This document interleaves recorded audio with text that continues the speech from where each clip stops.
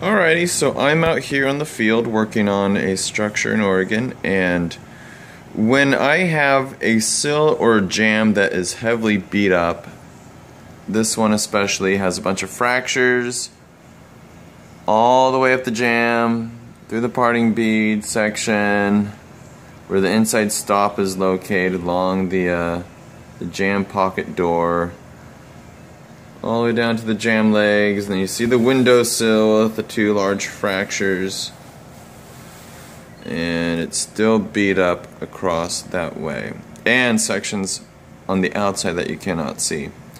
Um, yeah, a lot of damage. So, when the wood is in good condition, what I like to use is what's called 2P10 from a company called FastCap.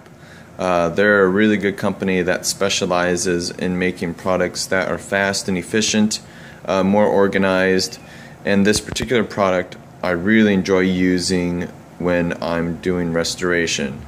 Comes in different densities. There's thin, there's medium, and there's thick.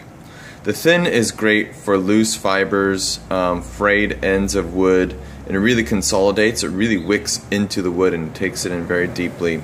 The medium is good for fractures like the windowsill, so it can seep down easily, and then you can activate it and let it um, cure. And then the thick is great for gluing fractures of wood where you don't want it to just let gravity allow it to run down the seams.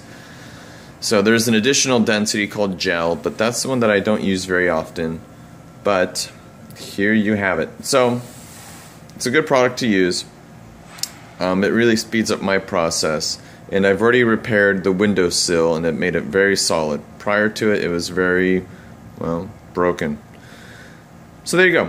Look them up, fastcap.com. Uh, the product is 2P10.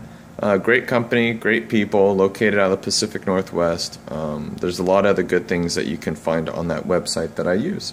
And you'll see more of those in the future on some videos. Alright, cool. Thanks for watching. Bye.